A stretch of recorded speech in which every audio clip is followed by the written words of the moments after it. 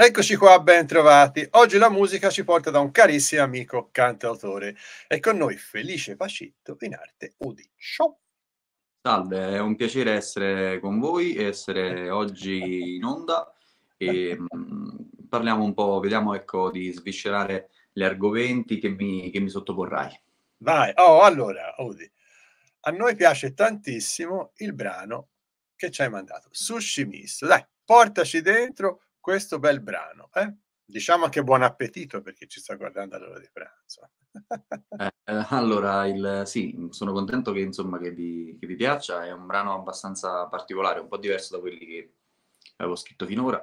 E il brano era partito un po' per, um, per, per gioco, dovevamo con degli amici affrontare ecco, una serata live io pomeriggio avevo buttato giù delle righe così e alla fine della serata ho detto ragazzi guarda c'ho questa cosa vi vorrei far sentire. E loro mi dicono ma come no? C'è una cosa scanzonata così non c'ha senso non c'ha...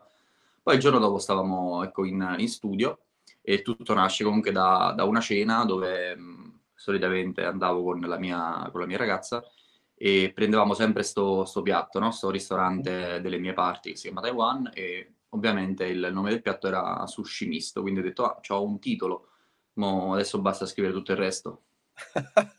cioè, è venuto tutto dal piatto il titolo eh, e poi hai sviluppato il brano. Senti, Felice, eh, come ti sei avvicinato al mondo della musica? Da quanto tempo? Eh?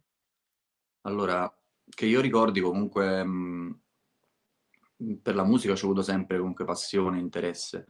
In senso un pochettino più pratico, forse avevo 15-16 anni perché mh, attraverso insomma dei campi scuola vedevo questi miei amici suonare la chitarra, io non ero assolutamente in grado, però comunque vedevo l'aggregazione che si veniva a creare attorno a queste, chitas- a queste chitarre, a questi contesti um, così musicali. Finisce l'estate e mi sono detto adesso tocca che impari pure tu perché è una cosa che ti manca, che ti può dare completezza. Poi da allora non l'ho più, non l'ho più mollata, mi sono perfezionato un po' mi sono accorto che, che canticchiando sapevo fare pure quello, quindi bene o male ho messo insieme le due cose.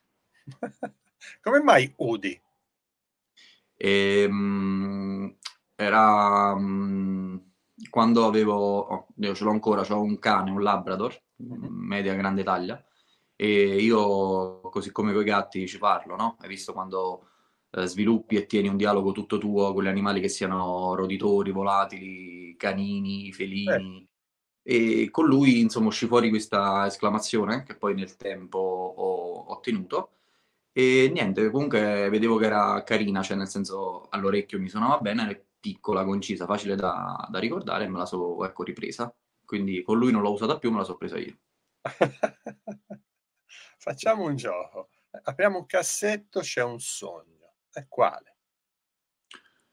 Allora, io mh, vedendo pure mh, comunque frequentando diciamo, l'ambiente musicale in pianta stabile adesso da 4-5 anni a questa parte, da quando ho iniziato proprio col mio debutto ufficiale su tutte le piattaforme di, di stream, ho iniziato a frequentare studi di registrazione o altro, ho avuto anche ecco, la possibilità di confrontarmi con colleghi anche più blasonati, altro. Mm-hmm. Ehm, sono una persona molto concreta, sto molto coi piedi per terra non mi interessa tanto di, di quella che viene spacciata per ecco, fama o altro, che poi è legata a fattori che magari con la musica c'entrano pure poco niente. Uh-huh. Eh, a me piacerebbe un domani, anche fosse una sola volta, eh, non dico riempire uno stadio perché per l'amore di Dio, però fare un concerto che sia un concerto, una cosa, una cosa bella che rimanga più per la memoria che non per, per le tasche, ecco. A me di quello non, non mi interessa niente, già Odi che vive fortunatamente. Però che mi si possa ricordare come anche cantante in senso stretto. Certo, certo, certo. Hai ragione, alla fine la vita è fatta anche di soddisfazioni, eh, di soddisfazioni che non devono portare per forza i soldi, eh? è così. No, allora, ci dici le pagine social eh? e quanto sono importanti i social per il tuo modo di fare musica? Eh, allora, eh, sono molto importanti, purtroppo, come mi dice anche la, la responsabile della mia, della mia etichetta, che mi applico molto poco sui social, cioè ci provo, però sono proprio ecco, trascurato in questo aspetto. Potrei fare di più, avrei le capacità per fare di più, ma mi manca il tempo, anche la, anche la voglia, perché sennò poi uno si piange troppo addosso e dice no, è il tempo che mi manca, mi manca anche un pochettino la voglia dell'applicazione. Comunque ho due profili social su Instagram, mi trovate udi.music come principale, da lì potete seguire anche il secondo. Ovviamente ho anche Facebook, sulla piattaforma Spotify mi trovate col nome Udi, molto semplice, tre lettere. E mm, stessa cosa vale per YouTube, insomma, sono su tutti questi, questi canali che sono il primo a non frequentare. Ma noi ti frequenteremo, eh, non ti preoccupare. No, assolutamente scherzo, con gioia. Allora Udi, ti dico grazie mille per questa bella chiacchierata. Grazie a te per lo spazio, sei stato veramente carino, simpatico, gentile. Adoro la piattaforma, il format e spero di sentirvi presto. Assolutamente sì. Intanto noi vi lasciamo al sushi misto. Ciao. Grazie.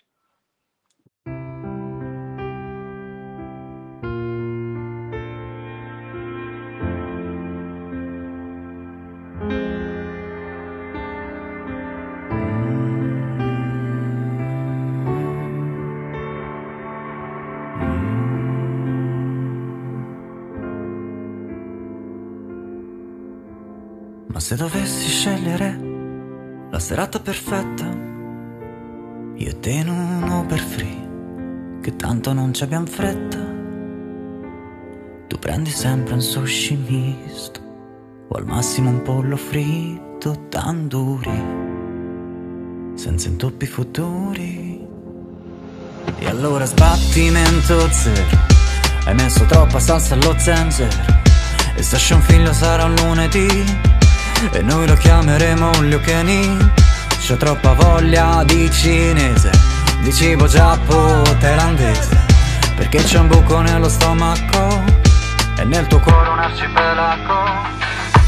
Portami a mangiare Del cibo per curare le ferite Che erano grigio antracite Ho troppa fame per vedere Versa la soglia nel bicchiere Per scoprire quanta voglia c'ho di te. E allora sbattimento zero. Andremo fuori per un anno intero.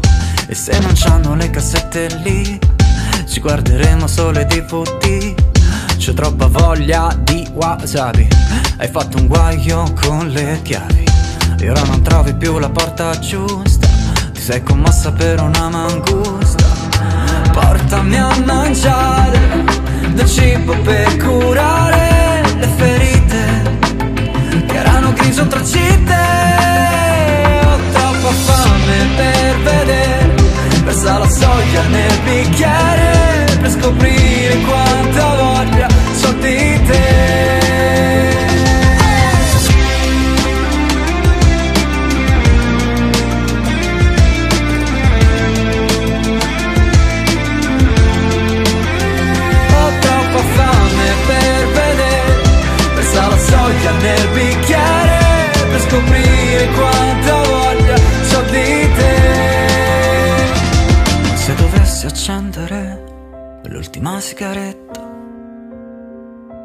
prego amore no, non mi portare fretta.